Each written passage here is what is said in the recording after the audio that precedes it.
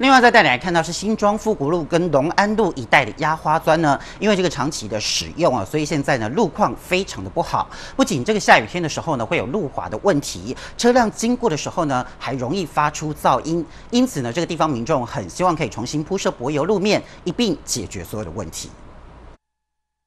富国路和龙安路一带的压花砖，长期以来因为车辆行经，所以无可避免路况会不好。不止天雨会路滑，还有噪音问题。富国路到我们的龙安路这一带呢，就是因为呃地砖是一个压花的瓷砖，那它是属于比较硬的材质，所以我们希望呢可以改成由柏油路，而且这一段路程为期大概有六百公尺这么长。那民众在骑车或者是在开车的时候，都觉得非常的呃不舒适。那还有噪音的问题，也是需要一并来解决。这个地砖的呃设计呢，在下雨天的时候是比较容易打滑。那区公所这边也尽力的维护，但是都是以水泥的瓷砖呃水泥的方式来做修补。但是修补的过程毕竟还不积极，所以我们还是希望以柏油路面来解决。而为何独独只有这段路面的设计和材质是如此与众不同？原来一开始这里是作为广场使用，因为捷运施工的关系，才成为替代道路。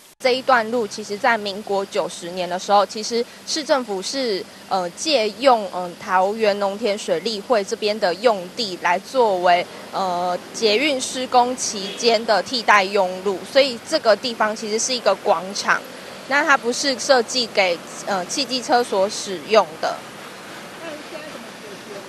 那目前的方式，呃，会刊的结论是希望说，我们的市府积极的和我们农桃园农田水利会这边来做协调，看可不可以以呃除了征收的方式来作为我们收为这个道路所使用。